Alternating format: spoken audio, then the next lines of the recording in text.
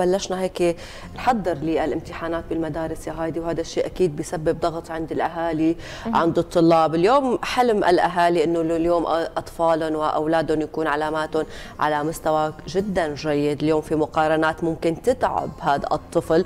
الوقت عم بيكون ضيق المنهاج عم بيكون مكثف وصعب وهذا الشيء بشهادة حتى الكادر التدريسي. كيف مفروض تمرق هاي الفترة إن كان على الأهل أو على الأطفال أو على الشباب يعني بشكل عام؟ أكيد يا رشا يعني من أكثر المشاكل يلي بنشوفها اليوم هي الضغط والتوتر يلي بيكون بفترة التحضير للامتحانات إن كان لطلابنا بالمدارس أو إن كانوا آه، بشهادات ثانوية أو ممكن لطلاب الجامعات. يعني هذا الأمر ممكن يكون طبيعي عند الشاطر الطالب الشاطر أو حتى الطالب يلي ما دارس. ولكن ممكن هذا الأمر يزيد عن حده بعد فترة يصير في مشاكل.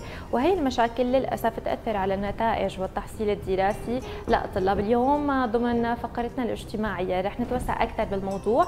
نعرف كيف ننظم وقتنا وكيف ندرس بطريقة صحيحة وكيف نقدم لهم الدعم النفسي والمعنوي. أكيد تفاصيل كثيره رح تخبرنا عنهم ضيفتنا لليوم. الاختصاصية التربوية رائدة بعكر يسعد صباحك. أهلا وسهلا فيك. صباح النور صباح النجاح صباح التفاؤل. حلو التفاؤل. يسعد صباحك. حبيبه قلبي أهلا وسهلا بحضرتك. دائما نحن بنقول بنعرف من حالنا ومن أحلام أهالينا. اللي بوقتها ما كنا كثير نستوعبها كنا نفكرها نوع من أنواع الضغط ولكن أي حدا مننا بيعيش التجربة مع أولاده بيعرف انه إنه كان همهم الوحيد هو نجاح هذا الطفل يلي عندهم. بداية خلينا نعرف شو يعني النجاح الدراسي.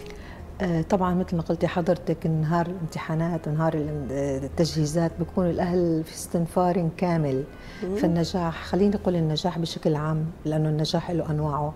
النجاح هو إنك أنت تحصل حصيلة اجتهادات ومراحل مريت فيها فوصلت إلى نتيجة نهائية. أعطتك روح من المعنوية الإيجابية التي تعود عليك بالثقة في النفس فهي محصلة عدة خطوات وعدة مراحل قمت حضرتك فيها من خلال طرق وأساليب معينة أدت إلى النجاح الإيجابي اللي بيؤدي إلى الثقة بالنفس ويؤدي إلى السعادة والرضا. هذا النجاح بشكل عام النجاح بالنسبة لي أنا بقول هو التوازن خصوصا إذا كان النجاح سواء كان النجاح الدراسي أو المعنوي أو الفني أو المهني أو الإداري لأنه مثل ما بنعرف النجاح ليس هو فقط على الصعيد الدراسي وأنا بكل مراحل من مراحل حياتنا نحن في رحلة نجاح. فهالنجاح هذا أكيد مثل ما كل أي شيء بهالحياة له مفاتيح وله أسس وله مبادئ كمان النجاح له أسس وله مفاتيح. مفاتيح النجاح أول شيء هو المثابرة والإدارة الصحيحة. والشغف والرغبة والمحبة. وقت بيكون عندي شغف ومحبة وإرادة وتصميم رح يكون النجاح له ذوق. النجاح فعلا شعور أرقى شعور اللي ما بنقدر نترجمه اللي هو عبارة عن البهجة والسعادة والرضا عن الشيء اللي نحن حصلنا نتيجة هذا النجاح.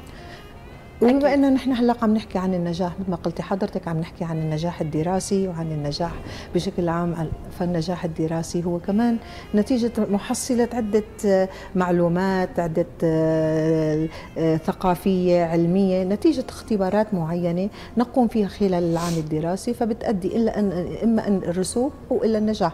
أنا ما بقول رسوب وإنما بقول نوع من الخيبة. نتيجة بعض العوامل اللي تأثر فيها هالطالب واللي مرت فيها خلال العام.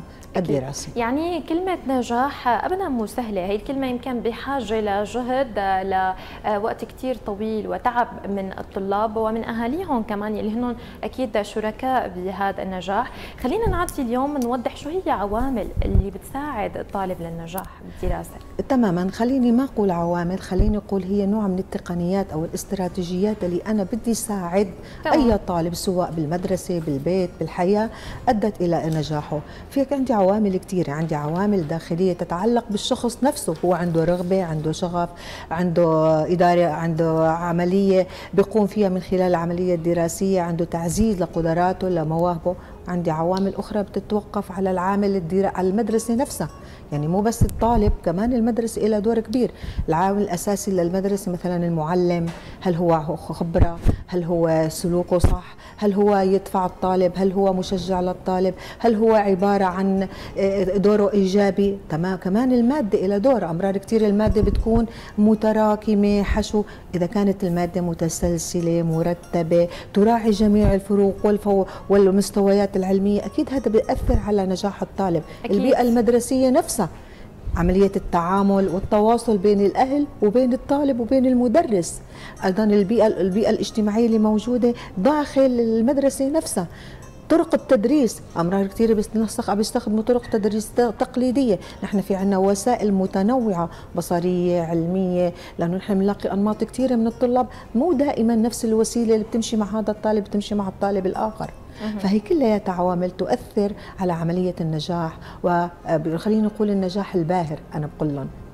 طيب اليوم بعد ما هيك حكينا عن العوامل اليوم أيضا النجاح بحاجة لخطة لتكنيك إن كان من الأهل أو من الطالب نفسه ما بين التنظيم ما بين احتضان الأهل بفترة الامتحانات. خلينا نحكي اليوم عن الخطة المفروض اليوم يمشي عليها الطالب والأهل يعني كمان يعتمدوها. آه، طبعا قبل ما أنا باشر بهذا السؤال والحط خطة لازم أعرف أنا بالنهاية شو سبب فشل الطالب. يعني مثلا أنا عندي نجاح وفي طالب يفشل مو شرط يفشل بمادة ممكن يفشل آه، بأكثر من مادة يمكن يفشل يكون فشل أو ضعف دراسي. خليني أعرف المشكلة حتى أعالجها بطريقة صحيحة قبل ما بلش باستراتيجيات اللي بتساعدني على النجاح أو الخطة. فأنا لازم أعرف المشكلة خلل. حتى لو فشل صح. أعرف الخلل وأنت اذا عرفت المشكلة أنا رح أعالج وبالتالي هذا العلاج رح يؤدي إلى النجاح يعني بمعنى أنا أتقبل ساعد الطالب إنه إذا فشلت وإذا طلعت مو منيح وإذا هالمرة علامتك ما كانت كويسة وإذا فشلت ليست نهاية العالم ما أقعد أذمه وأقول له أنت فاشل وأنت أعمل له صورة ذهنية عن نفسه وأنه اعطي ايحاءات سلبية انك لا ممكن هو فشل نتيجة ظروف معينة عنده بالبيت. يمكن هو آه، آه، سبب أسري سبب اجتماعي سبب علاقات إلى آخره أدت إلى فشله. مو أنه هو فشل يعني نهاية العالم لا. خليه يتقبل مرحلة. غير له الصورة الذاتية التعاون أحضنه. أعمل إزرع في أمور إيجابية جديدة إنه الفشل ليست وآخذ بالأسباب. أعرف وين السبب؟ وين الخلل اللي أدى؟ هل هو سبب تقصير بمادة؟ علمه مهارات. مهارات القراءة السريعة مهارات الخرائط الذهنية مهارات التلخيص. علمه أنه هو كيف يبتدي صح حط خطة زمنية جدولية صحيحة تناسب هذا الطالب وتعطيه أولوياته. وما أعمل له حشو ما أعمل له ضغط ما أجي قارنه. أنت رسبت ليك ابن الجيران نجح أنت لا. هو ضغط معين أثر عليه. خليني طلعه من هذا الشيء وأخذ بالأسباب ومده بشكل علمي وبشكل أكاديمي بالتعاون بيني وبين الأهل وبين المدرس نفسه. يعني بلشنا بالحديث عن الفشل الدراسي. خلينا نوضحه أكثر اليوم كمفهوم. ايمتى ممكن يكون الطالب فعلا فاشل دراسيا؟ هلا قبل ما فوت بعملية فخليني أعرف شو يعني فشل؟ الله يبعده عنا يا رب أمين. جميعا. الفشل ما حدا بيحبه خليني نقول خيبة أمل خليني نقول رسوب خليني نقول الفشل هو إنك أنت تشتغلي وتعملي وتدرسي وتتعبي حصيلة الشيء اللي أنت عملتيه جاءت عكس ما أنت بتتوقعي. أنا كنت متوقع النجاح وإذا أنا رسبت نتيجة توقع غير صحيح. هذا أدى إلى بالتالي إلى أحباط الطالب لأنه كان هو متوقع شيء وحصل على شيء فبصير عنده أحباط وانطواء وانعزال وأنا فاشل وبصير عنده غضب غضب بصير عنده دونية بصير عنده قلة نقص بحياته. فنحن بدورنا لازم نعرف أسباب هذا الفشل. ممكن تكون أسباب تتعلق فيه هو. عنده مماطلة عنده أعذار. والله أنا ناجح بس المدرس رسبني. والله أنا باخذ علامات هي المعدة هي حجتها كانت. لك عم تحكي المعدة عم تقول لي كانت من المدرسة. والله أنا عملت اللي علي. هن رسبوني. يا عمي ما حدا بيرسب حدا. أنت ما تحطي أعذار. ضربونا. هي ضربونا. يعني هي الكلمة. ما حدا بيضرب حدا. إذا أنت عامل يلي عليك واثق من معلوماتك لا تحط الأعذار. لا المشكلة إنه بس بده يقرب الامتحان هلا في امتحانات ما ضل معنا وقت. يلا بياخذ بالأسباب. تمام طب ما أنت ضيعت الوقت قاعد كل السنة. هلأ صرت بدك تدرس تحط الحق على المدرس وكان في عدد كبير بالشعبة وعملوا فوضى وما خلونا نفهم. طيب وين كنت خلال السنة كلها؟ هي السبب الشخصي. عندك أسباب خارجية مثلا أسباب اقتصادية. هلأ بنشوف كثير طلاب عم تترك العلم وتروح تشتغل لحتى تشت... لحتى تعيش. طب هذا إمتى بده يدرس؟ عم نشوف كمان مشاكل أسباب أسرية. الخلافات الأسرية بالمجتمع الخلافات والطلاق والزواج وما بعرف شو. بروح الولد بيطب وبينام شو بس بتحسي إنه هدول النماذج ناجحين دراسيا أكثر من الاشخاص اللي متوفر لهم كل شيء. بتحسي عندهم حلم كثير حابين يوصلوا له ممكن ياخذوا هذا الفشل هو عبارة عن قلبله حتى تدفعهم. مثل الحصان اللي بيرجع بقول لهم بيرجع لورا خطوة وبيندفع بقوة. لأنه إنسان عنده هدف. بعدنا عم نحكي وقت بيكون عندك هدف وشغف مهما كانت الصعوبات ما رح توقفي. طيب. خلينا هيك ناخذ منك أكثر معلومات آه، جدا مهمة بهذا الوقت. بما إنه عم نذكر الفشل وممكن أسباب الفشل اليوم في خلينا نقول علاجيا إن كان نفسيا إن كان دراسيا إن كان اسريا اليوم شو بتقولي اليوم لكل حدا بحس إنه طفله عنده نوع من الفشل أو حتى الشباب اللي بحسوا حالهم إنه هنون فشلوا بمرحلة ما؟ شو هي خلينا نقول علاجيا القصة؟ القصة الأساسية إني أتقبل هذا الفشل وأعتبره هو بداية نجاح. ما في نجاح ما قبله فشل. وآخذ برجع بكرر آخذ بالأسباب اللي أدت إلى هذا الفشل. أعرف وين الخلل؟ بأي مادة؟ بأي شيء أنا أدى وأستفيد؟ هلا أنا عندي رسبت أعرف الخلل مشان ما أرجع أعيده. حاول إني أنا أستفيد من الأخطاء. تجارب. وأكثر أخطاء من الفشل الدراسي وراح أقولها بكل صراحة عدم التركيز. التركيز يا شباب عدم التركيز والمشتتات التأجيل والتسويف. إيه اليوم بكرة بندرس؟ التراكمات. هي كلها بتعمل فوضى وبتعمل خلل وعدم اتزان. فلذلك حتى أنا أكون ناجح وعالج هذا الموضوع بشكل أعمل جدول زمني. حط هدف. طب أنا كيف بدي أنجح بحياتي وما عندي هدف؟ حط هدف حط حلم. هذا الهدف اللي أنا بخليني مهما كانت الظروف قاسية ومهما كانت حادة أنا أقدر وقف وواجه. وقعت أول مرة وقعت ثاني مرة ضلك مستمر. المثابرة والإرادة والرضا والإيمان بهدفك اللي أنت عم تسعى. كلياتنا الظروف صعبة الظروف طيب الظروف ما قالت لك ما تحمل كتابك وتدرس. الظروف, الظروف قطعه الكهرباء. ما قالت لك الظروف انت أنت ضوي شمعة يلي بده شيء ما بيهينه ولا صعوبة. أنا بقول لهم إياها ما تحطوا الأعذار خاصة بهذا الوقت اليوم الشهادة مطلوبة جدا يعني. الشهادة الشهادة الشهادة الأساسية نحن بنقول مستقبل أولادنا هلأ هن صناعة لمستقبلنا الحاضر. القادم. بقدر ما بيكون نحن أسسنا هذا المست... هذا الجيل صح؟ رح يكون المستقبل أكيد هو صح رح ينعكس على بقية الأفراد في المجتمع. تمام. بما انه عم نحكي عن الشهادة والمستقبل يعني اليوم بتلاقي في عادات تربوية خاطئة اليوم من الأهالي آه، باهتمامهم بتدريس طلابهم أو بتحفيزهم على الدراسة. بيقولوا لك مثلا ممكن طالب يكون صف ثامن سابع يقعدوا يحكوا له عن المستقبل ويحملوه مسؤولية كثير كبيرة. قديش هذا الشيء غلط؟ قد لازم يمكن كل مرحلة نحن نهتم بالطالب أكثر ما نحمله مسؤوليات لبعدين؟ تماما. كثير حلو سؤالك يعطيك ألف عافية. حكمي أنا مدرسه كنت عم درس طالب. رياضيات. قال لي انسه هذا شو بدنا نستفيد منه؟ تمام. قسما انسه ليش هذا عم تعلمونا إياه؟ أبي قال لي يلا بكرة بحطك وظيفة بتطلع أكثر طيب ما أنت عم تزرع بيه.